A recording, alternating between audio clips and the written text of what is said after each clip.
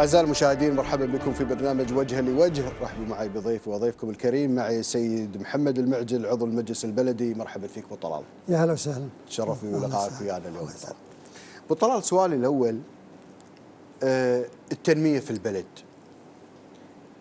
دائما يتهم في تعطيل التنمية وإقرار المشاريع هو هي البلدية والمجلس البلدي واللجنة الفنية. صحة المعلومة هذه.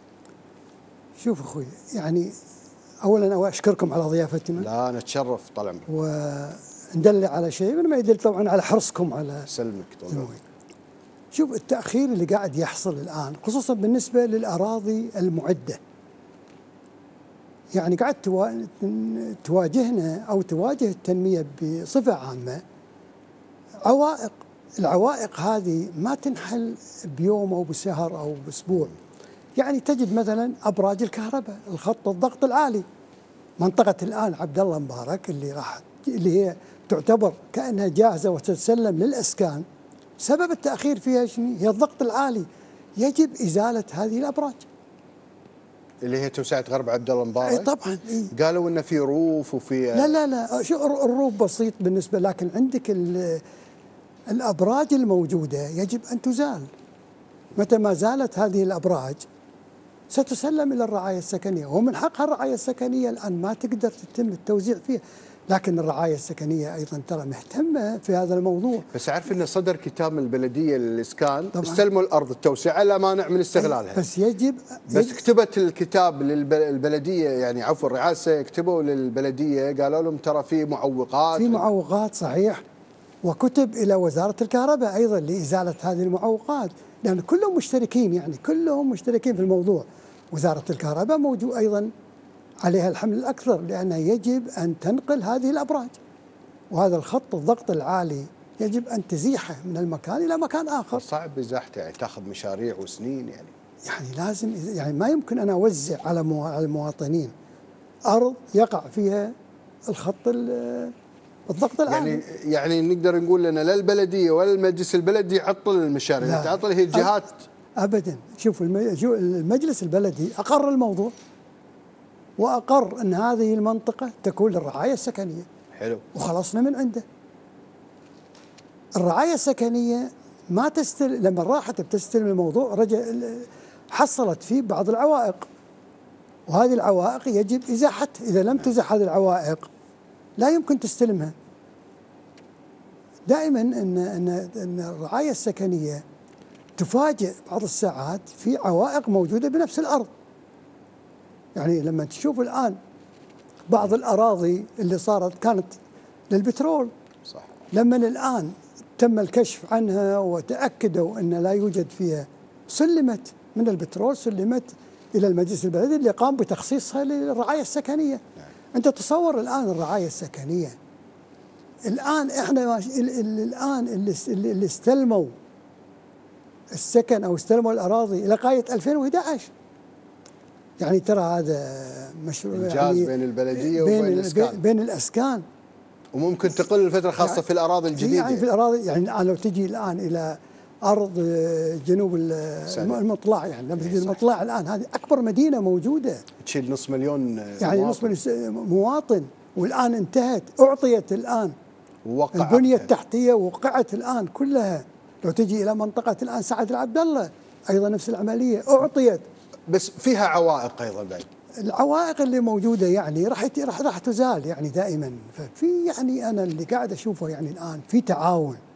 في, في. تعاون في تعاون وفي تنمية بين المجلس البلدي وبين البلدية وبين الأسكان هذا وبين وزارة. وبين وزارة الأشغال ووزارة الكهرباء. كل ذولا يعني جزاهم الله ألف خير. يعني كلهم متعاونين مع بعض. زين أبو طلال في أراضي يعني نسمع اليوم جنوب منطقة صباح الأحمد. أيوه. نسمع عن توسعة سعد العبد الله إيه. غرب عبد الله المبارك. في مناطق جديدة يعني يقول لك هل اكتفينا بهالمناطق؟ و- لا لا لا هذه هذه المناطق طبعا جهزت الآن وأعطيت للرعاية السكنية لتجهيزها وتوزيعها على المواطنين. طبعا كلها في مناطق جديدة قاعد تفكرون فيها؟ موجود المناطق. يعني إحنا الان الآن إحنا بيجي أقول لك الآن الطلبات إلى غايه 2011 يعني بقى عندك الآن يمكن تقريبا أربع سنوات. طلبات اللي من أربع سنوات. يعني الآن ال- الأسكان وزارة الأسكان. طبعا نشيطة في هذه الشغلة. يعني يعني قاعد نشوف إحنا في تقدم كثير يعني بالنسبة خاصة في, الر... في الر... الإخوان في الرعاية السكنية. في الرعاية السكنية. طبعا كلهم مشاركين. يعني حتى الأخت هند الصبيح بالشؤون من تبع التنمية وتبع هذا. أيضا جيدة. تجتمع وياكم. تجتمع معانا وحضرت وحضرت معانا عدة اجتماعات. وحضرت معانا ورش. كانت من اللي مهتمة في هذا الموضوع. يعني مو بس مو المجلس البلدي. يعني المجلس البلدي اليوم لولا البلدية والجهاز والرعاية السكنية ووزيره الشؤون ووزير الأشغال ووزير الكهرباء ما يشتغل لوحده. ابو طلال انت متفائل بكلامك طبعاً. بس هناك في على أرض الواقع من يقول هذا العكس لا يبقى البيروقراطيه موجوده. وتتعطل المشاريع. ثق تماما إن لا يوجد تأخير. هذا من المجلس البلدي. بالمجلس البلدي لا يوجد أي تأخير اليوم خصوصا بالنسبة للت- للتنمية. طبعا صاحب السمو حفظه الله دائما ينادي في هذا. سمو ولي العهد أيضا رئيس مجلس الوزراء نفس العمل يعني مهتمين في هذا.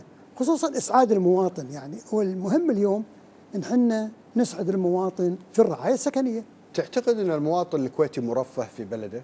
طبعا بكل أمانة بطلع. لا والله شوف بالأمانة أن المواطن إحنا نقول عسى الله لا يغير علينا في هذا البلد والمواطن الآن راح يعطى حقه وحتى لو ما وجد سكن الآن في الآن اقتراحات راح تكون ممكن أن يسكن في سكن مؤقت اللي هي راح تنبنى تقريبا بنايات ويسكن فيها إلى حين توفير له السكن النموذجي زين أبو طلال نتكلم على إحنا ماخذين كل الموجود آه، يعني رأسي ليش ما نصير عامودي؟ ليش ما في فكرة إنشاء مجمعات فخمة؟ يعني شمال الصليبيخات أخذ عليها المقاول يتحمل بعض المخالفات في التشطيبات لكن مو كلها. لكن إحنا خلينا نتكلم بكل أمانة. ليش ما نسلم الأراضي لإنشاء من قطاع مشاركة القطاع الخاص؟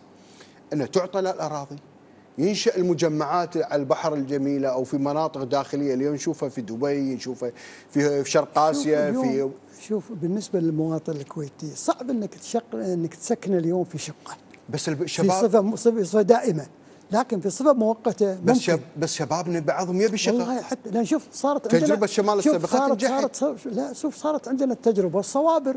صوابر تجربة شوف فاشلة. لما صارت الصوابر تقريبا بالسكن أيضا ما ارتاح ترى المواطن فيها مثل ما كان اللي أخذوا قسائم أخرى. المواطن اليوم معتمد على كان سكن. فيها أخطاء. إيه. لا كان فيها إداء ملاك عقار ولا صيانات ولا كان في خطأ فيها. ليش ما نجدد نعطي القطاع الخاص؟ لكن هل الدولة في لكن ما تسلم ما يخل إيه؟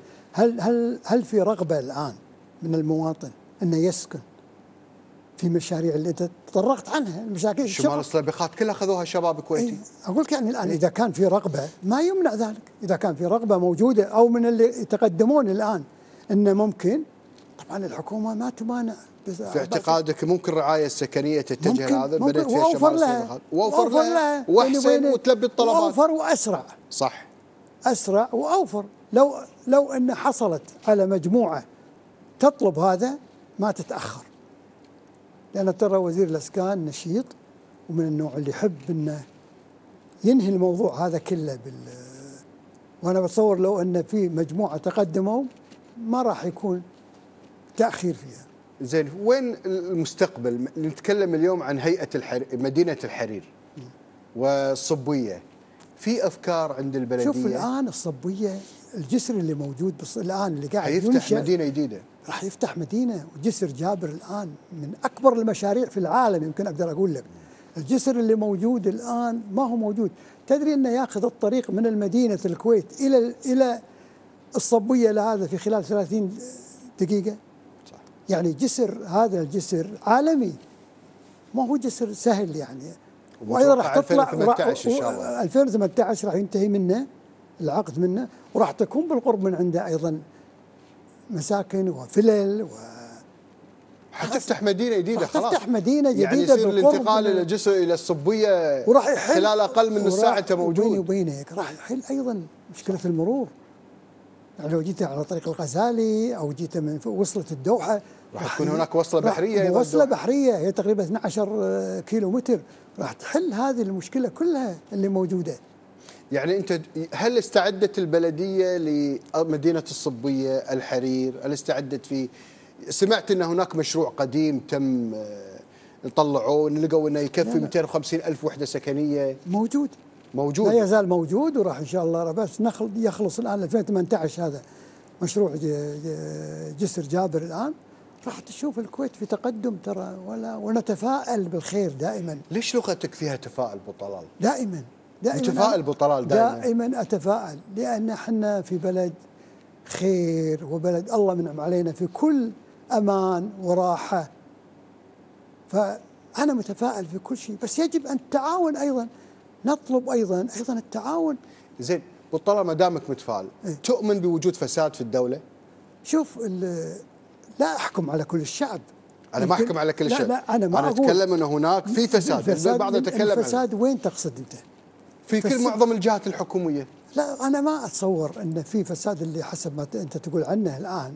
هو ما في ذاك الفساد ويمكن أن ينتقل للفساد. ما هو من المسؤولين الموجودين؟ علما منه يمكن من ال- ال- الموظفين الصغير أو مش عارف لكن يعني ما في موظفين كبار فاسدين والله طلال؟ ما أشوف ثق تماما إن اذا إذا حبينا إن إحنا نوصل إلى النتيجة ما نجد نجد إنهم كلمة يقولون لكن أجي يعني أحب أنا الت- أوصل مثل التأمينات الاجتماعية أبو طلال يقولون لا التأمينات تخت- تحاشيني على البلدية وتحاشيني عن هذا. ما أتكلم عن البلدية، أنا أتكلم بالعموم بطلال. شوف، لا عن ب- ب- بالعموم التأمينات بط- الاجتماعية إيه. أنا أتكلم عن اختصاصي وشغلتي الآن اللي أنا فيها. التأمينات تختلف عنا إحنا يعني خلينا نقول أنا ما أتكلم بشكل بالعموم ابو طلال يتكلمون بالدولة أن هناك فساد كبير. والله حتى شوف الفساد متى ما المواطن الصالح اليوم أتقن عمله. عرفت؟ وأمانته وأخلاصه في العمل يقضى على الفساد. صح. متى ما كان تعاون المواطن مع الدولة ليش إحنا الآن ليش إحنا الآن في في, في أوروبا المواطن المتعاون مع الدولة؟ ليش, ليش؟ المواطن الكويتي إذا راح إلى أوروبا تجده واقف في الطابور عند الجمعية واقف عند الجوازات و ولا يقط شيء بالشارع ولا يقط ويحافظ موقف سيارته وفي كل شيء. وتجد هنا بعضهم تسيب. يعني ليش ما نكون إحنا الآن مثل ما نبي برا يكون عندنا ليش برا ملتزمين وبالكويت مو ملتزمين؟ وهذا اللي إحنا يعني, يعني سؤال هل هي طبيعة مجتمع ولا الواسطة ولا عدم لا اكتراث لا بالقانون؟ لا وين لا العلة ابو في- لا طلال لا في ناس يعني آه، سبحان الله العظيم آه، التركيبه مالتهم ما هي ما يتقيدون بالأنظمة. ليش؟ شنو التركيبة تقصد فيها طلال؟ يعني حتى الآن تعال شوفها بالسير بالسيارة تعال شوفها ماكو تقيد في بالسيارة، المرور يعني كلها فوضى. يعني الآن لما تجي الآن الشوارع يعني ليش هذا الفقير اللي قاعد ينظف الطريق اليوم شنو سببه؟ مو معناه إنه قط الأخ بالسيارة فتح اليامة وقطك لنا ولا قط أبصار يعني ليش ما نتقيد إحنا؟ ليش ما نكون إحنا نموذجيين؟ شنو السبب ابو طلال ما تعودنا على الالتزام بالقانون مثلا لا والله إحنا متعودين والحمد لله والآن إحنا في تقدم يعني أي اليوم مواطن يروح برا تجد ما يصبر يقعد له شهر ويقول يلا إن شاء الله إني أرجع لبلدي يعني يا أبو طلال وايد. أسبوعين أو ثلاثة و... ويحن على بلده مهما يكون. الخير اللي موجود في البلد اليوم والنعمة اللي إحنا فيها ما هي موجودة بالعالم ترى كله. مهما يروح المواطن لأي مكان ما يصبر عن بلده. يعني هذه بلد الخير يعني في في الكويت. تاريخها يجب أن كذي، بلد نحافظ خير. يجب أن نحافظ عليها. نعم. هذه النعمة يجب أن نحافظ عليها. بلد الأمان وبلد الخير. يعني ليش إحنا نتهرب؟ كل واحد يجب أن يساعد. زين بالفترة جينا من خلينا نبتدي يعني صارت فترة كان هناك صراع ما بين المجلس وبعض الأعضاء السابقين مع الحكومة. في الثلاث سنوات بعد قانون الصوت الواحد خفت الحدة هذه. آه، البعض يسمي مجلس الأمة الحالي مجلس يعني مهادن مجلس آه، ما يحاسب الحكومة، أنت إيش رأيك في النقطة هذه؟ والله بالعكس أنا اللي, أنا أراه يعني الآن- تقابل نواب، تقعد معهم، تسمع وجهة نظرهم. إن الآن المجلس مجلس نموذجي نموذجي تعتبر. مخلصين مخلصين للعمل. الدليل على ذلك إنجاز مشروع قانون ال- البلدية. يعني أنا أشكر الأخ طبعا رئيس المجلس وأشكر الأخوة الأعضاء وأشكر أيضا لجنة المرافق اللي أنجزوا هذا المشروع اللي أعطى هيبة للبلدية. ترى ما كان في هيبة للبلدية لأن ما عندنا مواد تستند عليها في المحاكم وتستند عليها. اليوم القانون موجود. اليوم القانون موجود. أعطى هيبة نتكلم عن. هذا القانون. تفضل. القانون المجلس البلد الجديد أو القانون التعديلات اللي صارت أيوه. يقول أنتم ركزتوا على المواطنين المساكين الغلابة ونسيتوا أصحاب العمارات وأصحاب الاستثمار. ابدا. مو صحيح الكلام؟ ابدا. ما هو وعندك صحيح. القانون؟ القانون شامل. نسمع القانون شامل أخوي. قانون البناء شامل ومخالفات استثماري البناء وال- استثماري وسكني وصناعي كله شامل. شامل. كل شيء حاطين عليه حاطين عليه الغرامات والهدم والإزالة زين. وإعادة الشيء على أصله.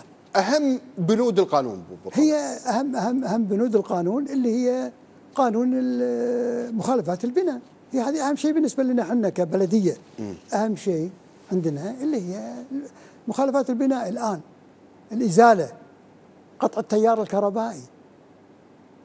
إعادة إعادة المبنى إلى ما إلى ما هو عليه. على ما هو مرخص. على ما هو مو على ما هو الترخ تقدر البلدية؟ الكل يقول ما تقدر. طبعا تقدر. لا ما تقدر. ابو طلال لا تقدر. في بيوت رخصوها على خمس في بيوت عفوا بنت خمسة وعندها تيار طبعا مخالف. طبعا شو مخالف. بتسوون وياه تقول اشيل الرابع والخامس؟ طبعا راح يشيله. الآن؟ راح يشيله في حكم محكمة راح تشيله. أول ما كان في مادة بالقانون تو- تسمح بإزالة الآن في مادة بالقانون صريحة. بس يقول لك عملي صعب ابو طلال لا لا. شلون راح تنفذون القانون؟ راح ينفذ. إذا إذا لم يزيله هو بنفسه عن طريقته وإلا سيكون عليه غرامه يومية ويتم إزالته عن طريق ال- الإزالة. راح يتم هل الازاله أصبح القانون مفعل؟ ولما يطلع الآن في الجريدة الرسمية عندك القانون طلال؟ ويوقع عندي القانون موجود. اي نبي نركز على موضوع إنه يشمل المواطن يشمل البيوت آه، الخاصة طبعا يشمل. أنا اكدها لك. تأكدها. متأكدة لك. القسائم الصناعيه والاستثماري والتجاري والسكن الخاص. يعني نفهم إنه بعد ما ينشر القانون بالكويت اليو- آه، الكويت اليوم طبعا. المراقبين البلديه حيتجهون لكل المنازل المخالفه طبعا. اللي اللي مخالف. المخالف يا أما انه ي- يزيل المخالفة هو عن طريقه وعن طريق معرفته الآن مو بس ترى أيضا صاحب العقار حتى المهندس حتى مكتب الإشراف المكاتب الهندسية راح يسحب تصاريحهم راح يتسكرون. لمن آه، قاعد يقوم في أعمال. طبعا. حتى. المقاول؟ حتى المقاول راح يبعد عن البلاد أيضا. حتى المقاول إذا إذا إذا عمل الآن شيء مخالف عدم بقائه في البلد. راح يبعد اداريا. اذا ثبت إذا ثبت يعني بدون ترخيص راح يبعد اداريا من البلد. هل تم يملك الجهاز التنفيذي للبلدية بمتابعة حجم المخالفات البناء والاستثماري في الكويت يا أبو طبعا طلال؟ يملك ترى عند البلدية في عندها اليوم واليوم ترى البلدية لما كانت البلدية قبل في دوشة لأن في عندها آه، إدارات. الآن تم أيضا القانون الجديد خدم ووزع الإدارات إلى صح. إلى الزراعة إلى وزارة التجارة والصناعة يعني حتى يعني الإعلانات راحت حق الإعلانات راحت يعني الآن المسالخ ال- الم- المقابر يعني كل شيء الآن راح تحول إلى إدارات أخرى فهذا خفف عبء على البلديه يعني خلى البلدية الآن تتفرغ لعملها الأصلي. اللي هي ال- البناء. اللي هي أهم شيء البناء.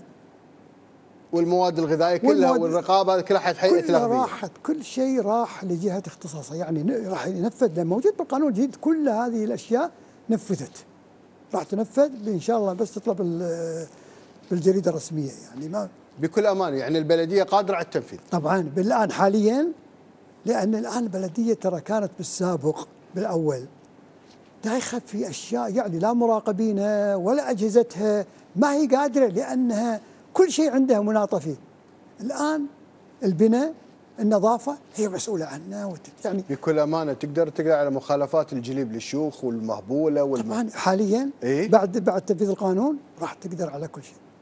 راح تقدر وأنا أقول لك إياها الآن أمامك إنها راح تقدر على كل شيء والآن الأخوة في في البلدية لا وزير البلدية ولا الأخ المدير العام يعني دائما الآن في اجتماعاتهم قاعدين يحثون مدراء المناطق.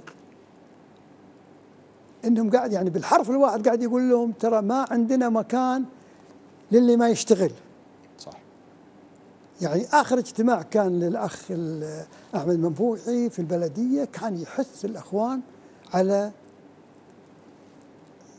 تنفيذ القانون الآن. ما في عندنا اللي ما يبي يشتغل يوخر. والله يا أبو طلال كلامك جميل والمسؤول المنفوح يقول وكثير يقول لكن اللي يروح على أرض الواقع إيش كاي يحول اللي عندك؟ يعني أعطيك مثال. يجوز دولة تتفرط في أملاك الدولة لها؟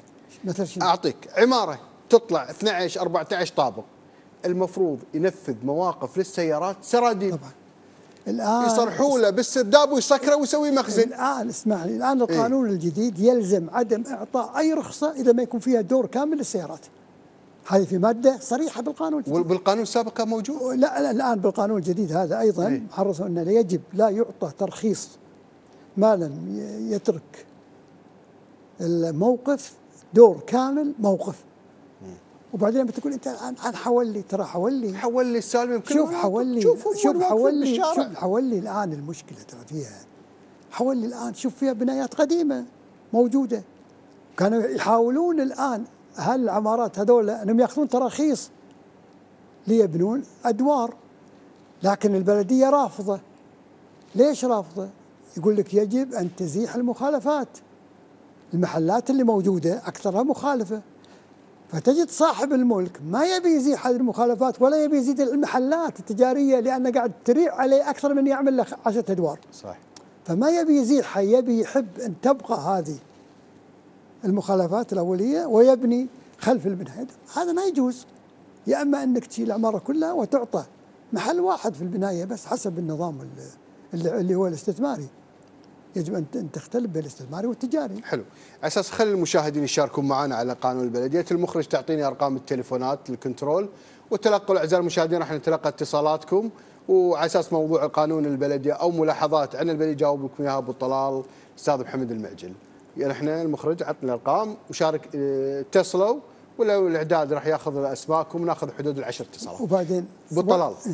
وبعدين تدري إيه؟ إن الآن القانون الجديد أعطى للمجلس مثلا المجلس البلدي إن عدم تأخر المعاملة أكثر من ثلاث شهور صح. 100 يوم. يعني هذا الآن أعطى القانون الجديد إن المعاملة لأن شنو؟ إحنا في في في المجلس البلدي بعض الساعات نعاني من عدم حضور أصحاب الاختصاص. صح. يعني نطلب وزارة معينة مثلا ما تجي وهذا سبب التأخير عندنا. وفي في جهات ما تحضر ابو طلال في جهات ما تحضر. نقعد بالاجتماع إحنا الأعضاء لكن الجهات ما تحضر. اللي إحنا بلغناهم قبل أسبوع علشان يحضر عندنا مثلا وكيل وزارة يحضر عندنا المسؤول عن هذا الموضوع بالذات. عن أرض معينة مثلا عن أي شيء ما يحضر. فنضطر نأجل الموضوع. مرة مرتين ما ما يحضر. وهذا سبب التأخير.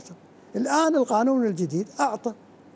ثلاث شهور. أعطى ثلاث شهور ما, عشان لا ما أحد تشوفها يقول ليش نعم مو ما تشوفها لا وايد هي شهرين باللجنة. وشهر راح تكون في المجلس.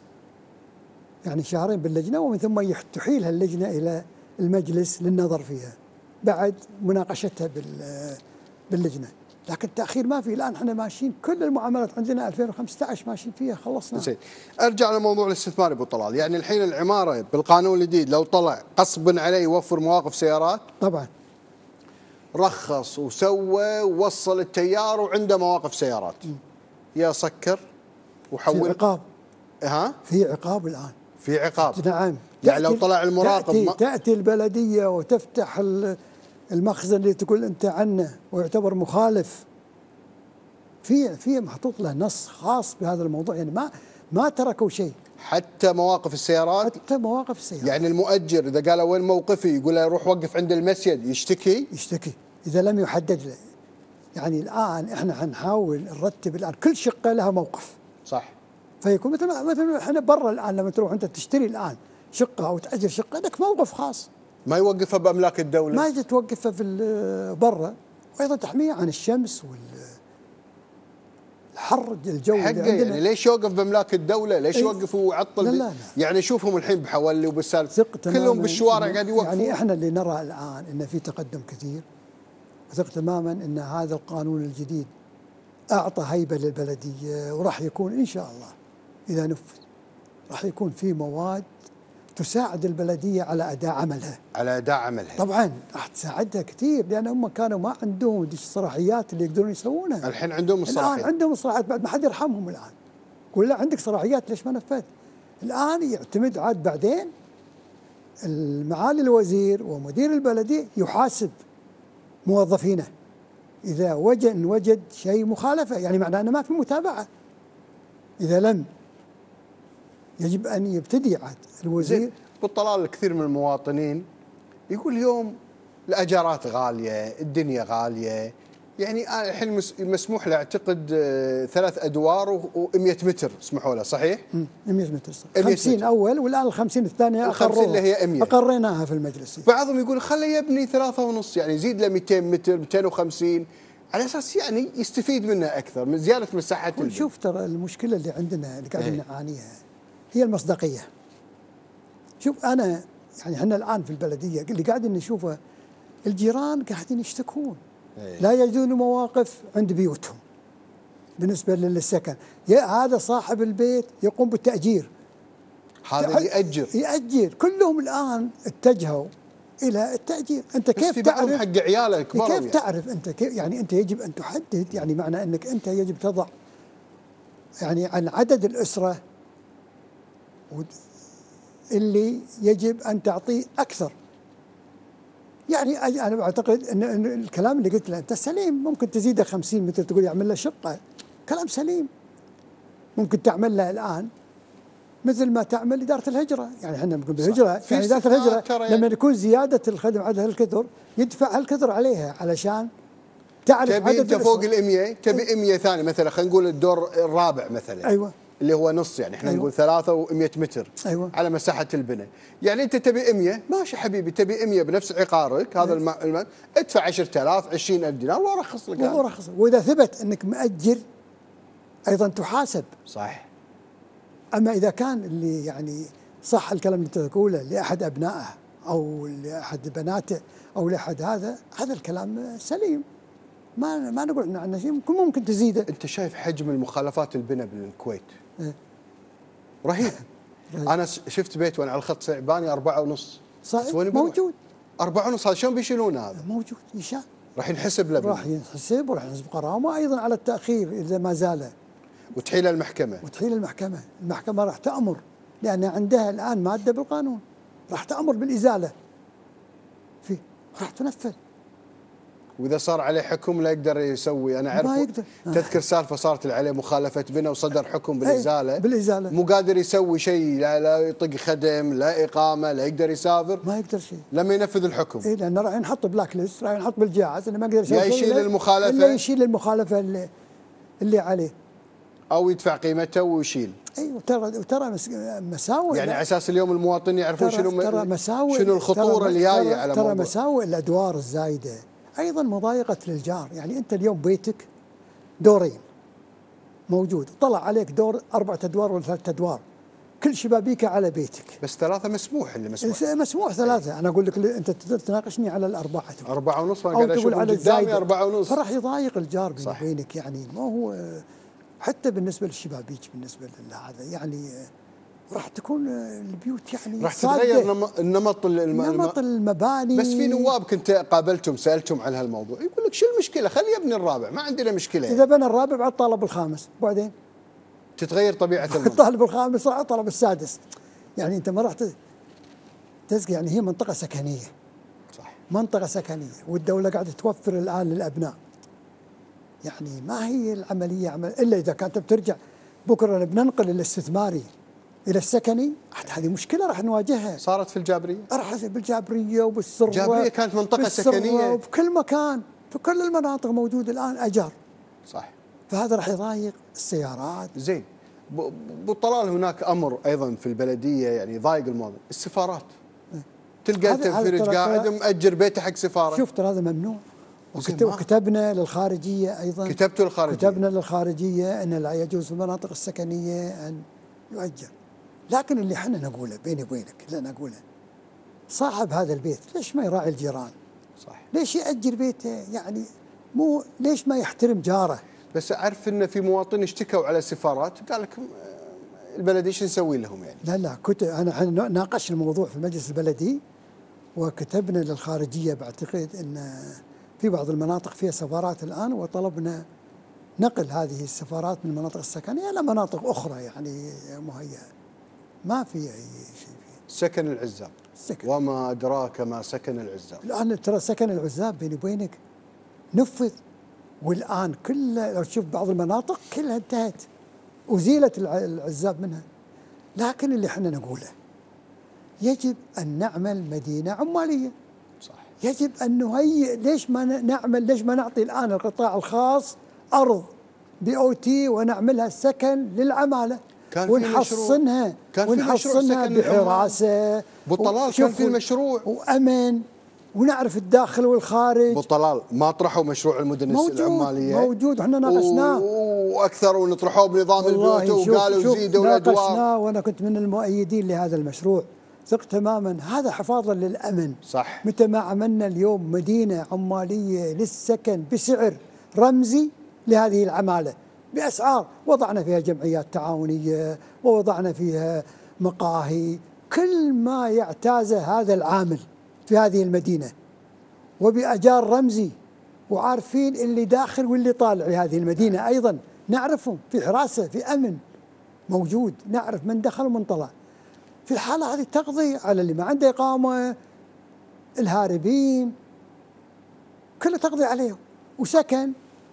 سعره أيضا رمزي مو سعر يعني يقدر العامل يقدر الشركة. هالمشاريع؟ وش صار فيها ابو؟ نعم والله الآن المشاريع مرة مطروحة. قالوا بنظام المبادرات والله مطروحة. شوف هذا مشروع جيد. أنا أنا في أحد يتعمد ان ياخر المشاريع والله؟ ما شنو المصلحة إنه يتعمد؟ يعني ما يمكن في ناس ما يبون المشاريع تطرح أساس آه، سكن العزاب ما شاء الله بالجليب يعني والمنقف يعني والفحيل لكن يمكن البعض مفترض- يتعمدها. في أعضاء من البلدية يتعمدون مثل هالمشاريع؟ لا لا البلدية ما لها شوف. أعضاء يقول لك لا وأخر شوي خلي الناس لا تستفيد. بالعكس والله أنا اللي أقول له يعني الآن يجب أن يهتمون في هذا والله. متى ما عملنا الآن المدن. يعني شوف الآن بعض إحنا عملنا ال- المشاريع البترول.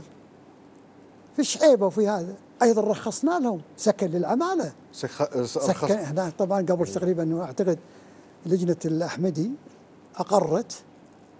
بسكن العمال داخل.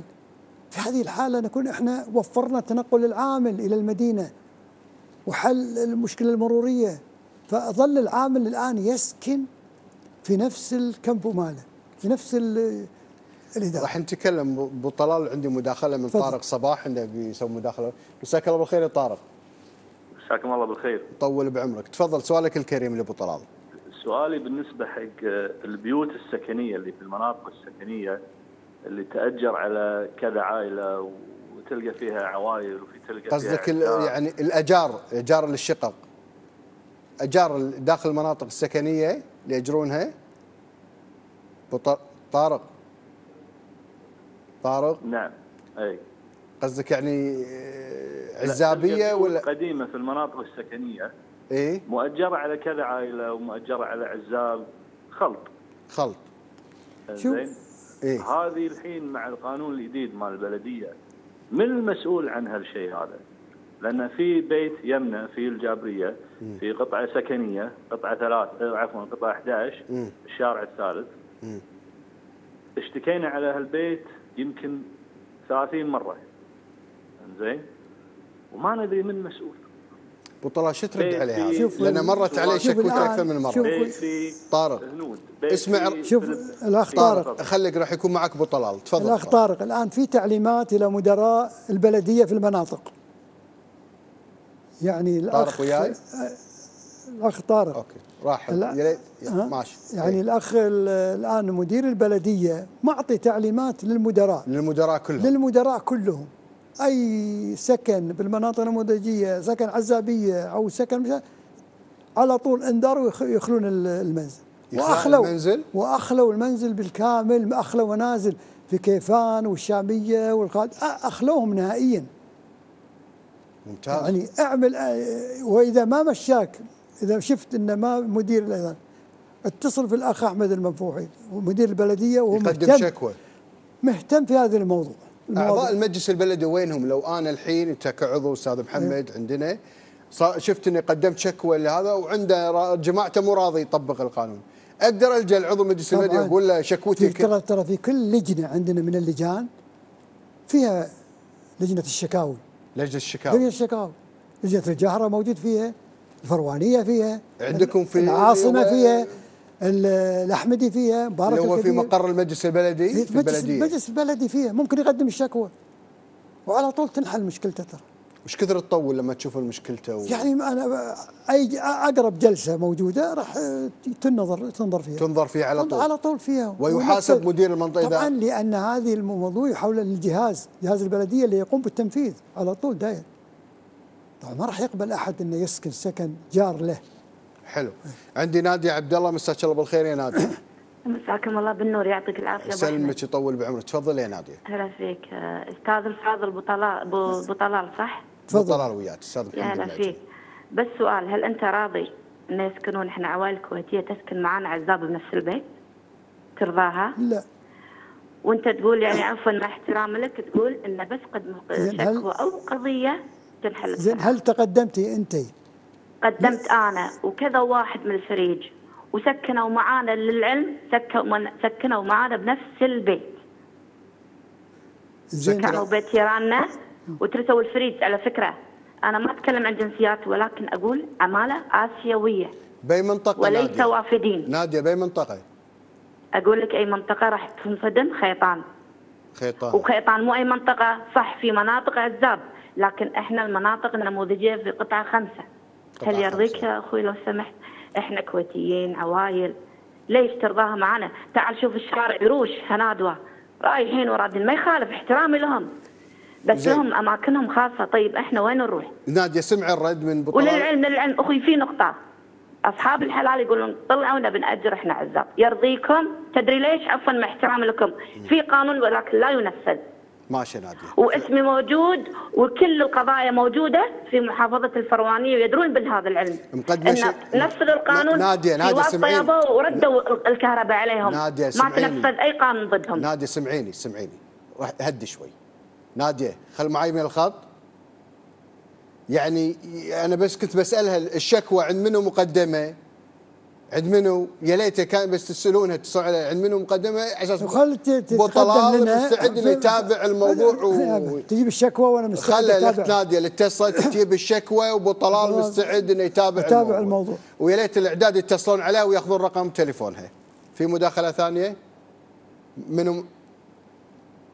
مروة إبراهيم. مساك الله بالخير يا مروة. ألو السلام عليكم. وعليكم السلام. ألو؟ تفضلي يا مروة وياك. دام فضلك. أه بس أنا أخوي محمد أنا كنت دازت لك من فترة عن صور بالفنطاس. إحنا ساكنين كانت الشركات الفنطاس. كانت عماراتنا هو مثل مجمع سكني حق شركة كبيرة وباعوها حق أشخاص. زين. أه سووا extension عمارات لازقه بالعمارات مالت ال- مالتنا. وصارت يعني وضيجوا علينا. طبعا ماكو مواقف. أساسا حق السكان الأصليين ماكو مواقف. فشلون بنى حق الحين يمكن تقريبا أربع عمارات أه سبع أدوار ثانيين يعني العماره سبع أدوار وبنى سبع أدوار ال extension الجديد مالهم. وضيع وصار ماكو أصلا ماكو مواقف الشارع صار زحمة. باي منطقه قلتي مروة؟ بالفنطاس. بالفنطاس. وأنا ترى أخ محمد دازت لك آه، صور من فترة واليوم دزت لك كم صورة. وللأسف الحين أشوف. لو أنا كنت أقدر أصور لك المواقف شلون. والبنيان مالهم شلون صاير؟ ناد- آه، مروة. وتشوف شلون هلا. دزي لي العنوان وإن شاء الله خلي باكر ولا عقب باكر فريق الإعداد أو فريق المراسل يروح يصور. هناك أفضل لأن بعد ما تصور ما تكون واضح. مثل هالمشكلة أبو طلال يعني قاعد مشكله أنا قاعد يعني أنا ما أدري يعني إذا كان مك- ممكن هل أملاك الأشخاص يعني اللي قاموا فيها؟ يعني بعض الساعات يكون يعني ملك كان بالسابق مثلا ما بناه. الآن مثلا قام في البناء فيه. أول كان مستقلين كمواقف لأنها أرض خالية والآن قامت بنايات. زين. هل هذا تقصد هذا الموضوع كيف؟ نرجع لموضوع خيطان أبو طلال. موضوع إن اليوم البيوت تحولت للكويتيين اللي كانوا تعرف القطعة إيه، هذه؟ كانوا عارف ساكنه القطعة، كويتيين. القطعة، تحولت البيوت هذه كلها إلى عزابيه يعني شلون يسمح؟ يعني مثلا قد أنا قدمت شكوى حق مدير منطقة الفروانية إنه تعال يبا ساكنين وما ياخذ إجراء. شنو المفروض تسوي؟ خلاص شوف خلى أنا الآن راح أتصل إن شاء الله بكرة راح اتصل أنا في مدير المنطقة مال الفروانيه ومال هذا وراح أقول له عن المناطق هذه بالذات يعني. راح أقول له شنو الإجراء شنو؟ الإجراءات اللي تعملها وأرجو أن تحافظ على ال- الأسر العائلية لأن من عاداتنا وتقاليدنا أن ما نبي يكون بجنبنا. هي قالت لي أي قطعة؟ خمسة؟ قطعة خمسة. قطعة خمسة. يا ليت بس فريق الإعداد ياخذون رقمها على أساس يتواصل معاه أبو طلال. فإن شاء الله راح كفو أبو نواصل. طلال. ما تقصر إن شاء الله. معاي علي التركي. مساك الله بالخير يا علي. مساك الله بالخير أخوي محمد. طول بعمرك الله يحفظك تفضل علي. مساكم الله بالخير. يا هلا مسي على ضيفك الكريم. يا هلا بالنسبة أنا بغيت أسأل سؤال بالنسبة حق الأراضي الفضاء اللي بين المناطق. الأراضي الفضاء يعني- بين المناطق. إي يعني عندك مساحات كبيرة بين المناطق براحات كثيرة. يعني ليش ما يستغلونها؟ يعني يوزعون حل مثلا حق ال- الإسكان. خش. أي مناطق يقصد؟ يعني أي- أي ما منطقة. المناطق كل أي يعني- منطقة بس. أي منطقة تقصد فيها؟ منطقة معينة. وايد يعني في مناطق وايد. يعني عندك في بيان عندك آه، بهديه عندك بخيطان يعني خيطان الحين أنا مرة سمعتها يقول لك يحولها من إسكاني لاستثماري والحين حولوها من استثماري لاسكاني يستملكوها ماشي يا علي راح تسمع الرد إن شاء الله. شكرا الله. يحفظك. يعني. بعض يعني كانت في طروح أبو طلال نوادي في مناطق الكويت تشوف براحش كبرها.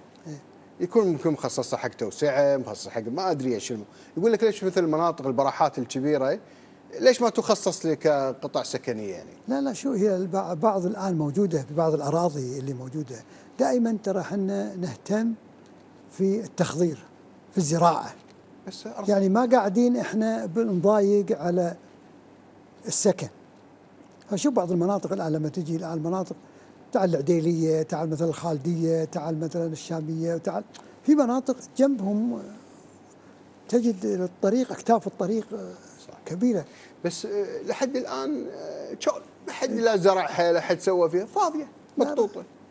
الآن يعني تشوف ت- تقريبا يعني إحنا في تفكير أيضا الآن إن أيضا البلدية يضع في كل جمعية تعاونية مركز بلدية خاص للمنطقة. صح.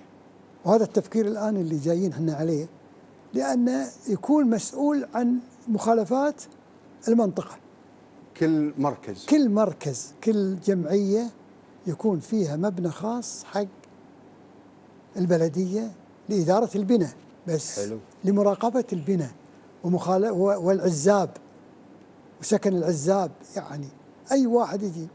وب- يعني أنا أنا أتوقع الآن يعني ليش المختارين ما يشتغلون بيني وبينك يعني إيدك على الجرح أنت. لا يعني ليش وين المحافظين؟ المختار لا. المختار ليش ما يشتغل الآن؟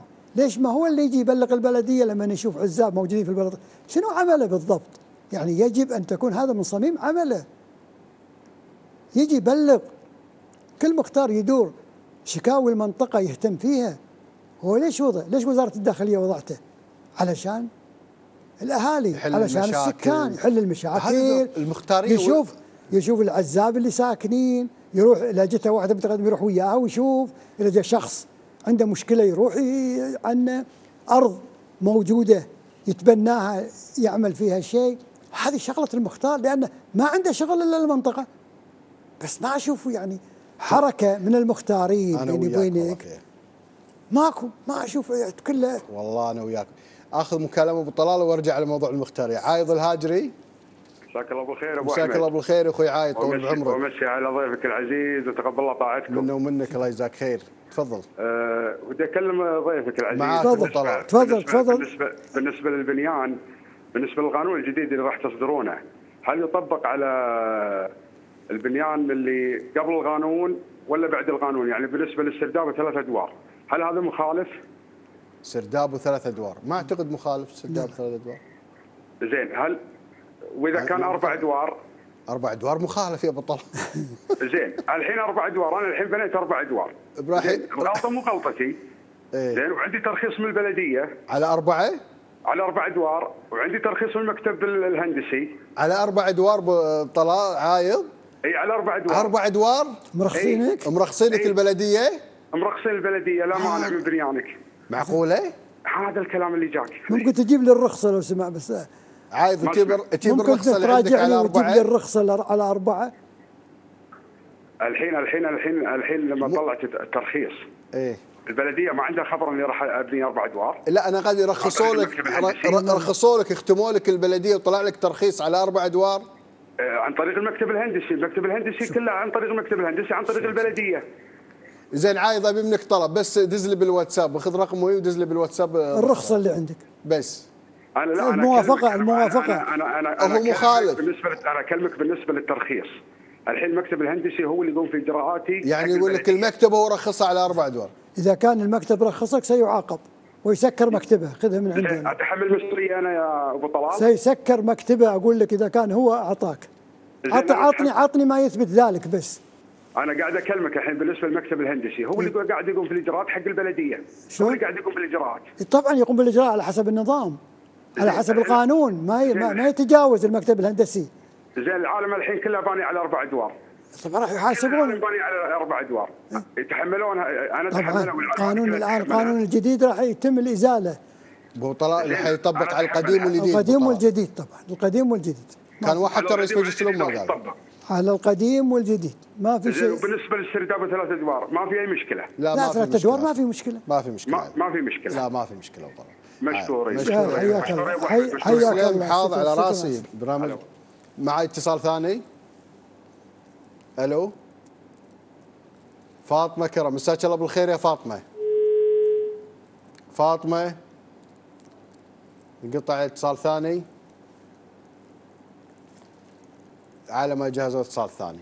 آه، في ضغط اتصالات. على قانون لأن الكل خايف من قانون المجلس القانون البلدي الجديد. بس رسالتك واضحة يا أبو طلال. ال- القانون حيطبق لأن أستاذ يعني في تصريح من مسؤول البلديه طلع. قال حيطبق على الجديد. لا لا. والقديم. رد عليه مرزوق الغانم كان في رد من مرزوق الغانم. حيطبق على التصريح على. كل من خالف. كل المخالفات الموجودة في البلد. استثماري. استثماري سكني صناعي يعني مو صحيح اللي يقول تجاري. لا لا ما يطبق على لا، لا، الاستثمار لا، لا، الهوامير وهذول ماكو يطبق. شيء اسمه اوامر ولا زورية. ما في هوامير. ولا زورية. كلهم راح يطبق. لا تقول لي. يعني كله راح يطبق على الجميع بدون استثناء. يعني الكل أبو طلال بيطبق عليه. كله راح يطبق. حتى لو غرفة بت- بتخالف حتى عليه. لو غرفة راح تزال. بس البعض يتشكك يعني يقول لك البلدية ما عندها حتى, حتى لو قواطع. ليش أنت يعني شوف ترى الاستثماري الاستثماري والتجاري. ترى ما يعطى شهادة الأوصاف الآن. ما يقدر يبيع ولا يشتري. خذها قاعدة يعني. يعني هذا الآن التجاري والاستثماري ما يقدر يبيع بنايته. لأن ما يقدر يبيع إلا يجب الحصول على شهادة اوصاف لما يروح شهادة الأوصاف ويطلعون الكشف يقولون إنه في عنده مخالفات. قواطع ولا شيء. داخل بعد مو برا داخل البيت. اليوم نشوف وايد من أصحاب العمارات. شو يسوي؟ يأجر مثلا شقة كاملة إيه. يقسمها اثنين. والكل غرفة يسوي لها قواطع. آه. واسيوي هذا لما هذا هذا يقدر يستثمرها لكن لما يجي يبي يبيع يطلب يبيع شوف. يطلب. طبعا في أشياء واجد لا لازم بيع وشراء بالسوق. ما يقدر يحصل على شهاده الأوصاف. ليش بطلال ما في ق... بتكلم على موضوع تجديد رخصة العمارة مثل رخصة تصير التأكد من عدم وجود مخالفات. مثل مو برا يسوون كل 20 سنة أو 15 سنة. بس أخذ المكالمة هذه وياك وارجع. معاي الأخت فاطمة؟ أي نعم. تفضل يا أخت فاطمة وياك أبو طلال. ألو السلام عليكم. وعليكم السلام. تفضل وياك. يعطيكم العافية. يسلمك يطول بعمرك. قول يا فاطمة يعطيكم سؤالك. العافية. أخوي بس أنا عندي موضوع آه، بيوتنا إحنا بيوت الحكومة أو قسايم الحكومة. إيه. لما أنا مثلا يكون بيتي سد عرفت شلون؟ سد. ومثلا جاري بيته على ثلاث شوارع. والله منعم عليه ومكرم عليه في ثلاث ضرايح من ثلاث جهات. وفي نظام داخل إن كل داخل الجزيرة أو البيت كل بيت له نظام سيارتين طيب لما أنا جيراني يصير مثلا عندهم براحة على ثلاث. على ثلاث شوارع وعندهم زوايا وعندهم باركنجات ومواقف الحمد لله والشكر وأنا بيتي سد لد وأخذ موقفين ويعني وهم يجون ياخذون معاي أنا من نفس المواقف ليش ما يوسعوا لي؟ ليش ما تسوون قا... مثلا لي أنا مثلا قانون إنه ينصفني أنا مثلا عندي سبع صبيان مساكين ما عندهم مواقف قاعدين يوقفون سياراتهم برا عند المسايد عند السيارات. وجيراني اللي متنعمين بثلاث مواقف وتبارك الرحمن وعندهم خير وعندهم نعمة متطفلين على المواقف الداخلية ماشي. للسكان اللي مثلنا يعني اللي ما عندهم زين. مواقف. أبيش تسمعين الرد؟ وبعدين بالنسبة حق الجار اللي أجر جارك اللي عندك إذا كان مأجر آه، طوفة على طوفة وجيرانهم ومؤجرينهم مزعجينك. يا أخي تنحرج. أنت تقول هو ما يستحي. أنت تنحرج تشتكي عليه. لأن إذا درى إنك شاكي عليه بتصير حتى يعني قدامه مو حلوة يأذيك. زين المطلوب؟ سمع ما تقعد يعني سمعي توقف سيارة عند بابك قال شو ازعجنا المطلوب يعني؟ شو المطلوب؟ المطلوب يا أخوي إحنا إحنا اللي- أهل البيوت اللي ما عندنا مواقف متضايقين. شو المطلوب؟ الناس اللي عندهم مواقف عند بيوتهم ما شاء الله تبارك الرحمن وعندهم مساحات. يعني يخلون المسا... المواقف الداخلية اللي في الجزيرة نفسها حق الناس المتضايقين مثلنا إحنا. يعني أنتم لهم الحق يعني. من هناك ومعطينهم الحق هني. ما شيخ فاضل شكرا لك شكرا. يعني هي مثلا إن البيت مثلا على ثلاث زو- زوايا قاعد يستغل المس... فتقول مثلا عندها مثلا بيتها سد ما في يعني يسمح له يعني أعداد ما تكفي السيارات فيسمح لنا تشارك الناس الثانيين في المساحة. بس ترى أنت يعني خليني بقول لك إياها بكل صراحة يعني. لما شرى هذا قسيمته بكم شراها ولما شرت هذه قسيمته بكم شرتها. ترى في فرق أيضا بال بالشر لما شرى هذه القسيمة حسب حساب إن هالساحه اللي أمامه يستفيد منها. بس هي أملاك دولة المساحة. هذه المفروض ما لا يسكرها. لا بس أنت الآن لما تشتري أرض الآن صح. وتشتري أرض زاوية وتشتري قدامك مواقف كم تدفع قيمة هذه الأرض وأرض ثانية مثلا ما جنبها شيء بس تختلف يستغل الأسعار. قاعد يستغل أملاك دولة المفروض ي- كلها أملاك. يعني ارتداد اللي عنده يعني حق في يعني صاحب بينهم وبين الجار. يفترض أن تكون في آه، تعاون. أريحية. لك المكان الفلاني. مكان يعني قبل بطلاء يعني وقبل هذا الحين ماكو. يعني يفترض أن الجار مع الجار هذه. كلهم الواحد بيت يعتبرون كلهم بيت واحد. وانت صاجب وهذا المفروض يعني مو مو لازم تتدخل وبعدين يصير بالأنفس شيء. هذا ما هي زينة. وياك، أنا ما وياك هي يا زينة. طلال. والله ما, أنا ما وياك. نبي نوصل إلى هذه على المرحلة. طبيعه أهل الكويت ما زالت نوصل. إن شاء الله. آخذ مكالمة اخر مكالمة عبد العزيز الشمري ألو السلام عليكم. السلام يا عبد العزيز. هلا أبو سعود. تفضل. أخوي أبو أحمد يعطيك العافية. يعافيك ويطول بعمرك إن شاء الله. أبو طلال يعطيك العافية. الله يعافيك. شكرا. تفضل طال عمرك والله يا أبو طلال كلامك طيب؟ وليت الكلام هذا اللي تقوله البلدية نفسه شو؟ أنا سؤالي نفس تسمعه؟ سؤال الأخت فاطمة اللي قبل شوي طول الصوت شوي أنا على بيتي تسمع أنا لحظة شوي يا عبد العزيز ابو سعود تسمع الصوت الحين سمعت بس من ساعه الأول ساعة، الكلام تفضل. الأولي يقول خليه يعيد تفضل. أبو سعود تعيده ثاني مرة قول ارفع صوتك بس أول شيء آه، تحياتي أخوي أبو طلال خلاص اسمعني شكرا إيه، تفضل شكرا طال عمرك يسمعك أبو اسمعني سعود؟ اي تفضل. طال عمرك الله يزيد فضلك إن شاء الله ويطول عمرك. أنا سؤالي نفس سؤال اخت فاطمة اللي قبلي. آه، أنا بيتي ثاني بيت وجاري راس فما شاء الله عليه على ثلاث شوارع. فالارتداد اللي من صوب الشارع الرئيسي ما شاء الله عليه محوطه ومخليه حديقه.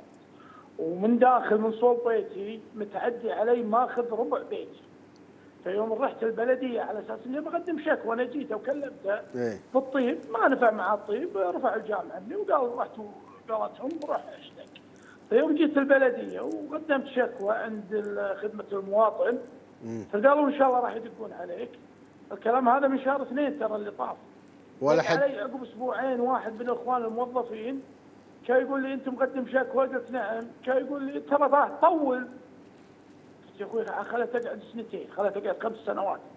بعدين أنت يعني شلون تقول لي تطول ما تطول؟ يعني أنت معاي ولا معاه؟ يقول لا لا معاك ولا معاه بس أقول لك يعني شو؟ يبغى تدري حتى الشمري. راجع طيب وين أراجع؟ وين كذا؟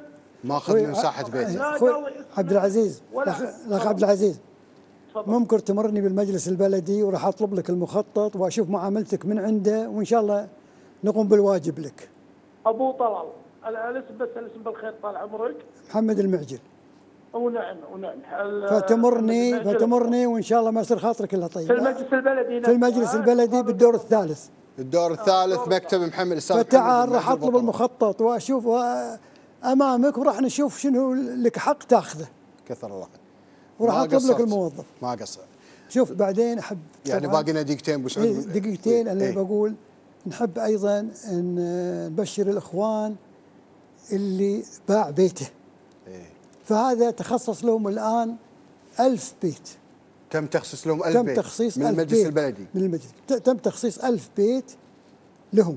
فإن شاء الله الرعاية السكنية راح تبني البيوت وتسلمها لمن باع بيته. يعني نكرر نبشر أهالي لمن باع بيته. بيته، انه تم تخصيص ما يقارب حوالي 1000 ألف بيت, بيت ي- بشكل دايم هذه البيوت ولا مؤقت؟ لا لا بشكل دائم دايم. اللي باع بيته ممكن إن الرعاية السكنية تخصص له. بس ما هو ما راح يكون ملك ما راح يسجل وثيقة له. راح يعني يسكن فيه مدى الحياة. إيه. هو أسرته. وحتى ورثته فيه. بس ما يستملكه ما ما. يستملكه ولا يبيعه. متى يطلع عيل من عيل شلون يطلع؟ يعني طول العمر يعني؟